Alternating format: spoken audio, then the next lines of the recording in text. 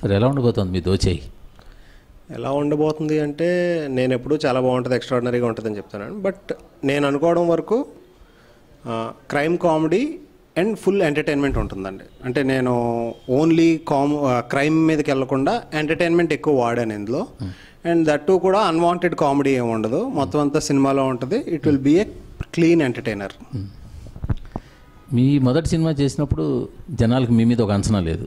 అవును బట్ ఇప్పుడు మీ మీద అంటూ ఒక అంచనా ఉంది. అవును. ఇప్పుడు మీరు దాన్ని ఎలా మీట్ అవ్వాలనుకుంటున్నారు? ఎలాగా దాన్ని? ఈ సినిమా తీసిన దానికన్నా నాకు మెయిన్ టెన్షన్ అదేనండి. ఎందుకంటే స్వామిరారావు వచ్చినప్పుడు సుధీర్ అంటే ఎవడో తెలియదు సో నిఖిల్ కూడా అంత పెద్ద హీరో కాదు. సో ఆ టైంలో మా ఇద్దరి మీద ఎక్స్పెక్టేషన్ లేదు. సో అప్పుడు నేను అంటే అవుట్ ఆఫ్ ద బాక్స్ వెళ్ళి ఒక క్రైమ్ కామెడీని తీసుకుని కొంచెం జెన్యున్గా అటెంప్ట్ చేశాను. And each and every one like it. So అప్పుడు ఏం ఎక్స్పెక్టేషన్ లేదు కాబట్టి ఏదో అని చూసి వచ్చారు బాగుంది. సో అందరికీ నచ్చింది. ఇప్పుడు అది వచ్చిన తర్వాత అది మంచి హిట్ అయిన తర్వాత ఇప్పుడు వచ్చే సినిమాకి అందరు ఎక్స్పెక్టేషన్ ఏంటంటే ఆ సినిమా అంత బాగా తీసాడు ఈ సినిమా ఎలా తీస్తాడు ఇది అది అని ఆ మెయిన్ టెన్షన్ ఉందండి బట్ నాకు తీసేటప్పుడు మాత్రం అదేం ఫీల్ అవ్వలేదు నేను. నేను స్క్రిప్ట్ అనుకున్న తర్వాత ఈ స్క్రిప్ట్ ఎలా తీస్తే బాగుంటుంది అని అలా అటెంప్ట్ చేసుకెళ్ళిపోయాను. ఇప్పుడు డెఫినెట్గా స్వామిరారా కన్నా మంచి స్క్రిప్ట్ అని నేను అనుకుంటున్నాను అది మంచి స్క్రిప్ట్ అయితే ఇంకా మంచి హిట్ అవుతుంది. ఈ స్క్రిప్ట్ అనుకున్నాక మీరు నాగ చైతన్య దగ్గరికి వెళ్ళారా? లేకపోతే నాగ చైతన్య డేట్స్ ఇచ్చాక ఆయన కోసం స్క్రిప్ట్ తయారు చేశారా? డెఫినెట్గా ఫస్ట్ స్క్రిప్ట్ అనుకున్న వెంటనే నేను ఫస్ట్ టైం నాగ చైతన్యాన్ని కలిసినప్పుడే ఈ స్క్రిప్ట్ చెప్పానండి దానికి. అంటే ప్లాట్ కింద చెప్పాను. ఆ, ఇది ఇది రఫ్గా ఉందండి. మీకు ఇది బాగుంది నచ్చింది నేను చేస్తాను అంటే కనుక నేను దీన్ని ఫుల్ డెవలప్ చేసి చెప్తాను అన్నాను. నేను ఫస్ట్ సిట్టింగ్లోనే ఆయనకి చాలా బాగా నచ్చింది. ఎందుకంటే ఆయన నాగ చైతన్యకి స్వామిరారా చాలా ఇష్టం. అంటే నాకు చాలాసార్లు చెప్పాడు. అటువంటి స్టైల్ నాకు అది చాలా బాగుంది ఇది అది అంటే సో నేను కొంచెం దానికి దగ్గరలోనే ఉన్న అంటే ఆ క్రైమ్ కామెడీలోనే ఆ జానర్లోనే ఇది ఎంచుకున్నాను. ఎంచుకుంటే హీరోని కాన్వెంట్ చేసేటప్పటికి తనకి బాగా నచ్చింది. బాగా డెవలప్ చేసేది డెఫినెట్గా చేసేద్దాం అన్నారు. సో అప్పటి నుంచి దాని మీద కూర్చొని ఇంకా పూర్తిగా డెవలప్ చేశానండి ఆ కథని ఈ స్క్రిప్ట్ చేసేటప్పుడు నా చైతన్య బాడీ లాంగ్వేజ్ నా చైతన్య ఇమేజ్ అతని లిమిటేషన్స్ అన్ని దృష్టిలో పెట్టుకున్నారా? అంటే నేను డెఫినెట్గా సినిమా చేసేటప్పుడు ఇప్పుడు నేను నాగ చైతన్య హీరో అనుకోండి స్క్రిప్ట్ డెవలప్ చేస్తున్నాను. అన్నప్పుడు నా ఇమాజినేషన్లో ఇప్పుడు నాగ చైతన్య స్ట్రెంత్ ఏంటి వీక్నెస్ ఏంటి అన్నీ నాకు తెలుసు. సో హండ్రెడ్ పర్సెంట్ నేను స్ట్రెంత్కి తగ్గట్టే కథ రెడీ చేసుకుంటాను. డెఫినెట్గా నేను సినిమా తీస్తున్నాను అంటే హీరో ఎక్స్ట్రాడినరీగా చేయాలి హీరోకి మంచి పేరు రావాలి హీరో అదరగొట్టేసాడు అని చెప్పాలి. నిఖిల్ స్వామిరారా చేసినప్పుడు అందరికన్నా నాకు నిఖిల్ స్ట్రెంత్ ఏంటి ఎక్కువ అన్నది నాకు తెలుసు. సో అది ఎక్కువ ప్రాజెక్ట్ చేశాను. ఇందులో కూడా నేను నాగ చైతన్యాన్ని చాలా బాగా ప్రాజెక్ట్ చేశాను. కామెడీ కూడా చేయించారా? కామెడీ కన్నా నేను ఎక్కువ హ్యూమర్ మీద డిపెండ్ అవుతానండి. అంటే కామెడీ అంటే ఇప్పుడు ఒక వేరే సీన్ వచ్చి సినిమాకి సంబంధం లేకుండా అటువంటి కామెడీ సీన్లే ఉండవు. దాంట్లోనే జెల్ అయిపోయి వాళ్ళ మధ్యలో హీరోనే అండ్ ఇప్పుడు బ్రహ్మానందం గారు అవనివ్వండి పోసన్ గారు అవనివ్వండి వాళ్ళ మధ్యలో మాట్లాడుకునేదే కామెడీగా ఉంటుంది. సో అది నా సీన్ కంటెంటే బట్ అది కామెడీ వేలో ఉంటుందండి అంతే. ఈ సినిమాలో నా చేతిని డబుల్ రోల్ చేశాడని వార్తలు వినిపిస్తున్నాయి. అది ఫాల్స్ న్యూస్ అండి. అంటే దోచేయి అని పెట్టాను. ఇండస్ట్రీలో చైతన్యాన్ని అందరూ చెయ్యి అంటారు కాబట్టి టైటిల్ అలా దోచేయి అన్న దాంట్లో చెయ్యి వచ్చింది కాబట్టి అదేదో జస్ట్ హైలైట్ చేశాను తప్ప దోచేయి అన్నది ఇద్దరు చైతన్యాలు అన్నది. అంటే ఇప్పుడే కాదు నేను ఎప్పుడూ డ్యూయల్ రోల్ అన్నది నేను ఇమాజిన్ చేయలేనండి. ఎందుకంటే నేను ఎప్పుడైనా కథ రెడీ చేసుకుంటున్నా కొంచెం రియాలిటీకి దగ్గరలో ఉండాలి. డ్యూయల్ రోల్ అన్నది నాకు ఏ కోసమే అది రియాలిటీ అన్నది కాదండి. బట్ డెఫినెట్గా చాలా మంచి సినిమాలు వచ్చినాయి. హలో బ్రదర్ అన్నది ఎక్స్ట్రాడినరీ సినిమా అలాంటివి చాలా ఉన్నాయి కానీ బట్ నా వరకు నేను అవి అటెంప్ట్ చేయలేనండి డ్యూయల్ రోల్ అన్నది. అంటే ఇప్పుడే ఇప్పుడు పర్సెప్షన్ ఇది. ఫ్యూచర్లో ఏమన్నా చేస్తే అంటే ఈ మాట మీద నిలబడతానని కాదు. బట్ చేసినా చెయ్యొచ్చు. బట్ యాజ్ ఆఫ్ నౌ నాకు అది అసలు ఈ మధ్యకాలంలో వచ్చిన మంచి స్క్రిప్టుల్లో స్వామిరారా స్క్రిప్ట్ ఒకటి. ఓకే. అది ఆ స్క్రిప్ట్ని నిరూపించడంలో మీరు చాలా ఎక్కువ టైం తీసుకుని ఉంటారు. ఎందుకంటే ఫస్ట్ సినిమా కాదు అవును. బట్ ఇది సెకండ్ సినిమా. అంత టైం ఉండి ఉండకపోవచ్చు మీకు. అంటే డెఫినెట్గా నేను వన్స్ రెడీ అయిన తర్వాతనే షూటింగ్కి వెళ్తానండి. అంటే ఇప్పుడు ప్రొడ్యూసర్ నాకు క్లోజ్ ఫ్రెండ్ నేను నాకు గత టెన్ ఇయర్స్ నుంచి తెలుసు. ఇప్పుడు అంటే ప్రసాద్ గారు బీవీఎస్ఎన్ ప్రసాద్ గారు అనేది ఒక పెద్ద ప్రొడ్యూసర్ తెలుసు. వాళ్ళ అబ్బాయి నేను ఎప్పటి నుంచో క్లోజ్ ఫ్రెండ్స్ నేను ఫస్ట్ స్వామిరారా ముందే తనకు సినిమా చూపించాను. తన ఇన్పుట్స్ ఇవన్నీ తీసుకుంటాను. సో నాకు ఆడు ఇండస్ట్రీలో ప్రొడ్యూసర్ కొడుకు కన్నా నా ఫ్రెండ్గా ఎక్కువ తను. సో తన సజెషన్ తీసుకుంటే తనే నాకు ఫస్ట్ డే చెప్పింది. నా చైతన్య ఓకే అన్న తర్వాత నీ స్క్రిప్ట్ అంతా రెడీ అయిన తర్వాత చెప్పు. అప్పుడు స్కెడ్యూల్ వేద్దాం. ఈ టైం నుంచి మనం షూటింగ్ స్టార్ట్ చేసేయాలి. చెయ్యి ఆ టైంకి ఆ సినిమా అయిపోతుంది. నెక్స్ట్ వెంటనే స్టార్ట్ చేయాలని అదేం పెట్టుకోకు. కంఫర్టబుల్గా చేసుకుందాం. ఏ ప్రాబ్లము లేదు అన్నారు సో నేను అలాగే ఎప్పటికప్పుడు వన్స్ స్క్రిప్ట్ అంతా లాక్ అయిన తర్వాతనే చెయ్యికి రీడింగ్ ఇచ్చిన తర్వాత అంతా రెడీ చేసాం అదే షూటింగ్ స్టార్ట్ చేసాం స్వామిరారా టైంలో మీకు అంటే మీరు అన్న స్టార్స్ అంతా కూడా ఒక రేంజ్ స్టార్స్. అవును. సో మీకు కొంత ఫ్రీడము అవును. స్క్రిప్ట్ విషయంలో కావచ్చు లేకపోతే అల్లుకోవడం విషయంలో కావచ్చు ఉంటుంది. ఇక్కడ మీరు కొంచెం పెద్ద స్టార్స్తో డీల్ చేశారు ఒక బ్రహ్మానంద గారు కావచ్చు బోసాన్ గారు కావచ్చు నాగ చైతన్య కావచ్చు. ఇక్కడ ఎట్లా ఉంది మీకు? అంటే నాకు చేసినంత వరకు నాకు అసలు డిఫరెన్స్ అన్నది ఏం తెలియలేదండి. అంటే ఇప్పుడు నేను బ్రహ్మానందం గారితో చేస్తున్నాను పోసన్ గారితో చేస్తున్నాను డెఫినెట్గా వాళ్ళు చాలా పెద్ద ఆర్టిస్టులు. బట్ ఇప్పుడు నాకు ఏం కావాలి వాళ్ళతో ఏం చేయించుకోవాలి అన్నది నాకు క్లారిటీగా ఉండి నేను వాళ్ళకి ఎక్స్ప్రెస్ చేయగలిగితే ఎవరైనా మనకు ఒకటే. ఇప్పుడు పెద్ద ఆర్టిస్ట్ అని మనం కొంచెం కన్ఫ్యూజ్ అయిపోయి ఆయన ఏమనుకుంటారో అని మనం ఏం చెప్పాలనుకుంటున్నామో అన్నది ఆయనకి సరిగ్గా అర్థం అవ్వకపోతే we'll screw the movie but నేను నాకేం కావాలి నా సీన్ ఏంటి నా డైలాగ్ ఏంటి ఇదంతా అన్నది వాళ్ళకి క్లియర్గా నేను మార్నింగ్ కార్వాన్లో కూర్చొని ఎక్స్ప్లెయిన్ చేస్తాను ఇది సార్ ఇది సార్ ఇది సార్ అని. చేసిన తర్వాత నాకు వాళ్ళిద్దరితో ఎటువంటి ప్రాబ్లము రాలేదు. చాలా కంఫర్టబుల్గా చేశాను. ఇన్ఫ్యాక్ట్ వాళ్ళిద్దరూ నాతో చేయడం చాలా హ్యాపీగా ఫీల్ అయ్యారండి. అది. నాగ చైతన్య కెమిస్ట్రీ ఎట్లా ఉంది? చాలా బాగుంటుందండి. మీరు సినిమాలో చూస్తే నాకంటే ఇద్దరు చాలా క్యూట్గా ఉన్నారు చాలా బాగా పర్ఫామ్ చేశారు. అండ్ ఆ అమ్మాయి కూడా ఎక్స్ట్రాడినరీ ఆర్టిస్ట్ అండి. సో డెఫినెట్గా వాళ్ళిద్దరి పేరు అందరికీ బాగా నచ్చుతుంది. అంటే చేయికి ఇంతకుముందు సమంత చెయ్యి ఏమ్మాయి చేసే టైంలో ఎలా అనేవారు ఇప్పుడు కూడా సేమ్ అటువంటి ఇది బాగుంటుందండి. సో మీ సినిమా అనగానే జనాలు అది ఏ సెంటర్స్ మూవీ అవుతుంది? క్లాస్ మూవీ అవుతుంది. బట్ సినిమా ఇవాళ హిట్ అవ్వాలంటే బీసీ సెంటర్ ఆడియన్స్ని కూడా మెప్పించాల్సి అవును. మీ దీనికి ఏమైనా కేర్ తీసుకున్నారా? డెఫినెట్గా ఇది ఏబీసీలో ఉంటుందండి సినిమా. అంటే నేను ఎక్కువ ఈ మాట చెప్పను ఏబీసీ సెంటర్లో అని. బట్ డెఫినెట్గా ఇప్పుడు సినిమాలో ఉన్న లాస్ట్ ఫార్టీ మినిట్స్ ఏదైతే ఉంటుందో ఫుల్ ఎంటర్టైన్మెంట్ ఉంటుంది. అది ఏబీసీ సెంటర్లో ఎక్స్ట్రాడినరీగా నచ్చుతుంది. అంటే ఇప్పుడు డెఫినెట్గా నాది ఏ సెంటర్ అంటే స్వామిరారా అన్నది నేను ఒక సెట్ ఆఫ్ ఆడియన్స్ని నేను పట్టుకున్న బడ్జెట్కి నేను ఇప్పుడు ఏబీసీ సెంటర్ను టార్గెట్ చేసేసి మొత్తం సినిమాని ఏదో చేసేయడం కన్నా ఓ సెట్ ఆఫ్ ఆడియన్స్ చూస్తే నా బడ్జెట్ వర్కౌట్ అవుతుంది నా ప్రొడ్యూసర్కి లాభం వస్తుంది అని ఫీల్ అయ్యి నేను ఒక సెట్ ఆఫ్ ఆడియన్స్ని టార్గెట్ చేసుకున్నాను. నేను టార్గెట్ చేసిన దానికన్నా ఎక్కువ మంది చూశారండి స్వామిరారా అన్నది. అంటే చాలా అంటే నేను భ్రమరామలో చూసినప్పుడే కింద బెంచ్ కింద నుంచి విజిల్స్ అయ్యి వేసారు నేను దానికే షాక్ అయ్యాను. అంటే నేను అనుకున్నది మల్టీప్లెక్స్లో క్రౌడ్కి హ్యూమర్ అన్నది బీ కింద సెంటర్లోకి ఎలా వెళ్తుంది అన్నది నాకు అంత ఐడియా లేదు.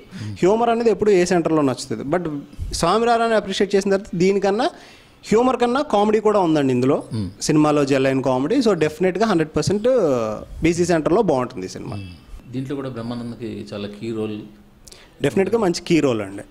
అంటే బ్రహ్మానందంగా అంటే కొన్ని సినిమాల్లో వేరే ఏదో కామెడీ ఉండాలి అని స్క్రిప్ట్కి సంబంధం లేకుండా ఆయన్ని పెట్టి కామెడీ చేద్దాం అనుకుంటాను బట్ ఇందులో ఏంటంటే నా స్క్రిప్ట్లో ఆయన రిక్వైర్మెంట్ అక్కడ. సో ఆ రిక్వైర్మెంట్కి తగ్గ ఆ ఎపిసోడ్లో ఆయన వస్తారు. అదంతా అయిపోయిన తర్వాత క్లైమాక్స్కి వెళ్ళిపోతాను నేను. ఆ ఎపిసోడ్ అంతా ఆయన ఆయన మీదే ఉంటుంది మొత్తం. ఆ ఎపిసోడ్ వచ్చినంతసేపు ఆయన ఇంపార్టెంట్ క్యారెక్టర్ కింద ఉంటారు. సో అన్వాంటెడ్గా పెట్టడం అంటూ ఏమీ లేదండి. డెఫినెట్గా ఆయన సినిమాలో ఒక భాగం. ఈ క్రైమ్ కాన్ జానర్ కదా ఇది? అవును. నాకు బయట. మరి దీంతో పాటు మరి చైతన్య ఇమేజ్ కోసం డ్యూయట్స్ అతని రొమాన్స్ ఇవన్నీ వీటికి కూడా ఇన్కార్పొరేట్ చేశారా? అంటే ఇప్పుడు ఇంట్రడక్షన్ అప్పుడు ఒక సాంగ్ ఉంటుందండి. ఆ సాంగ్లో హీరో ఏం చేస్తాడు ఏంటి అన్నది నేను చూపించాను. ఇప్పుడు స్వామి రారాలో ఓన్లీ పిక్ పాకెటింగ్ మీద తీసాను నేను సాంగ్ ఇందులో కొంచెం డ్యాన్స్ అది పెట్టి అంటే ఇప్పుడు చైని ఒక డ్యాన్సింగ్ స్ట్రెంత్ కూడా ఉంది అని ప్రొజెక్ట్ చేయడానికి ఒక డ్యాన్స్ చేశాను ఆ మధ్యలో ఒక కానింగ్ అయ్యి ఉంటాయి. అట్ ద సేమ్ టైం ఇంకో సాంగ్ ఏమో హీరో హీరోయిన్ మధ్య ఫ్రెండ్షిప్ డెవలప్ అవ్వాలి. అది మాంటేజ్ సాంగ్ కింద తీశాను. ఆ మిగిలినవన్నీ మీకు ఫస్ట్ సాంగ్లో హీరో డ్యాన్స్ చేస్తాడు. మిగిలినవన్నీ సినిమాలో రిక్వైర్మెంటేనండి అంటే అన్వాంటెడ్గా పెట్టింది ఏమి ఉండదు. అండ్ ఫైట్స్ విషయానికి వస్తే అన్నీ సినిమాలో రిక్వైర్మెంట్ అంటే చాలా మంచి చేజులు చేసాం అండ్ పార్కోర్ ఎపిసోడ్ ఒకటి చేసాం. చెయ్యి ఎక్స్ట్రాడినరీగా చేసాడు. ఆ చేజులో అంటే చెయ్యికి బైక్ నడపడం చాలా ఇంట్రెస్ట్ అండ్ తన హాబీ కూడా. సో అదంతా ఈ సినిమాలో ఎక్కువ వాడడం జరిగిందండి. అది.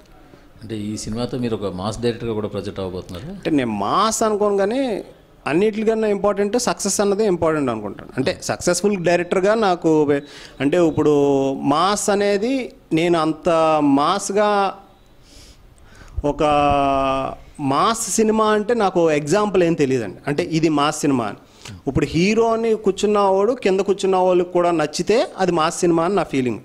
ఇప్పుడు అది చాలా స్టైలిష్గా తీయొచ్చు మనం ఏదైనా చేయొచ్చు. కింద బీసీ సెంటర్లో విజిల్ వేసారు అంటే అది డెఫినెట్గా మా సినిమా అవుతుంది. దానికి తగ్గట్టు ఇదే వేసుకోవాలి లుంగి వేసుకుని రావాలి అలా అనేది నేను మాస్ అనుకోనండి. అంటే నా డెఫినేషన్ ఆఫ్ మాస్ వేరు.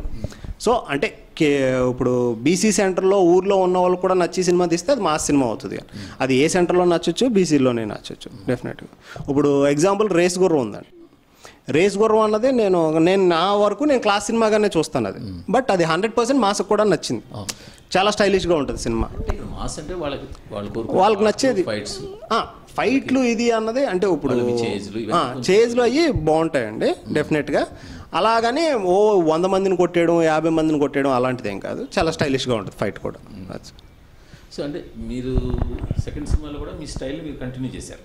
డెఫినెట్గా అంటే ఇప్పుడు నాకు స్ట్రెంగ్త్ ఏదైతే ఉందో అది వదిలితే అంటే ఇప్పుడు ఆడియన్ ఇది కోరుకుంటున్నారు అది కోరుకుంటున్నారు అని కాకుండా నా స్ట్రెంత్కి తగ్గట్టు నేను సినిమా తీసుకు బట్ నా స్ట్రెంత్ వరకు నేను కంఫర్టబుల్గా ఉండి నేను సాటిస్ఫై అయ్యి సినిమా ఒకటి తీసుకోవాలండి అంటే ఇప్పుడు అది రేపు అది హిట్ అయినా ఫ్లాప్ అయినా నాకంటూ ఓ సాటిస్ఫాక్షన్ ఉండాలి. నేను అనుకున్నది జనాలకు నచ్చలేదు అని. ఇప్పుడు జనాలకు అది నచ్చుతుంది అని తీసిన తర్వాత ఒకవేళ ఏమన్నా తేడా వస్తే అబ్బా నేను అనుకున్నది తీసుంటే బాగుండు అని జీవితాంతం బాధపడుతూ ఉండాలి. సో అటువంటిది కాకుండా మనకు నచ్చింది ఇద్దాం జనాలకి ఇద్దాం. డెఫినెట్గా మనం బాగా తీసుంటే వాళ్ళకి నచ్చుతుంది. ఆ కాన్ఫిడెన్స్తో నేను సినిమా తీస్తాను. మీరు ఫస్ట్ సినిమా చేసినప్పుడు బడ్జెట్ అవైలబిలిటీ తక్కువ. అవును.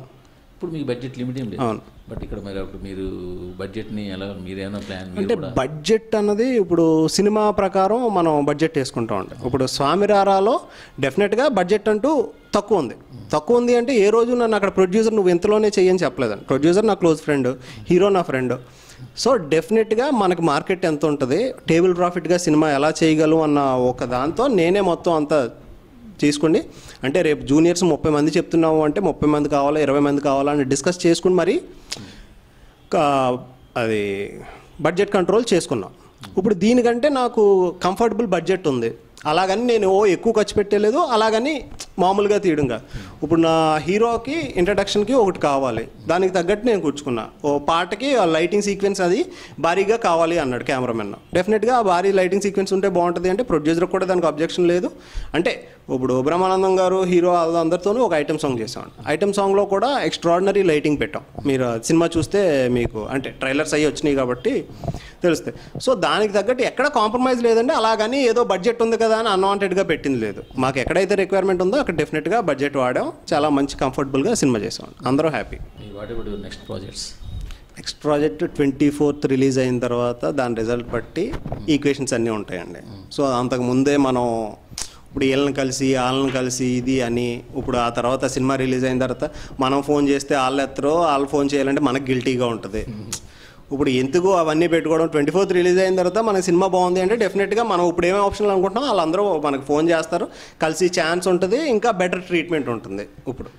అంటే రెండు సినిమాల అనుభవంతో టాలీవుడ్ లెక్కలు తెలిసిపోయాయి అనమాట అంటే అది సింపుల్ ఈక్వేషన్ అండి. నేను ఎక్కువ టెన్షన్ పడినా. అంటే ఇప్పుడు వెళ్ళి కలిసి ఓ హీరోని కలిసి తను స్టోరీ చేయమంటే ఇప్పుడు దీని పోస్ట్ ప్రొడక్షన్ అలా జరుగుతూ ఉండగా మనల్ని so so and so hero పెద్ద హీరో పిలిచాడు చేయమన్నాడు అని మనం అయిపోయిన తర్వాత ఇప్పుడు దీని మీద కాన్సన్ట్రేట్ చేయకుండా దాని మీద పూర్తిగా కాన్సన్ట్రేట్ చేయకుండా ఎందుకు ఇప్పుడు హండ్రెడ్ పర్సెంట్ ఈ ఇండస్ట్రీలో ఉండాలండి ఏం చేసినా.